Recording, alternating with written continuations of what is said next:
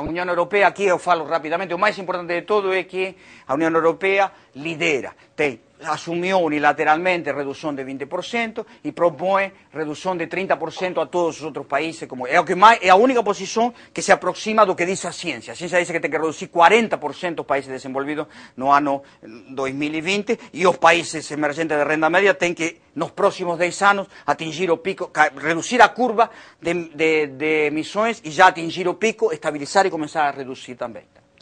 Eh, en toda la Unión Europea. Y a otra cosa importante de la Unión Europea, grande capacidad de articuladora, como se construyó como una, eh, negociación, una cooperación. Los europeos saben producir cooperación, porque hicieron, la Unión Europea fue construida por la cooperación.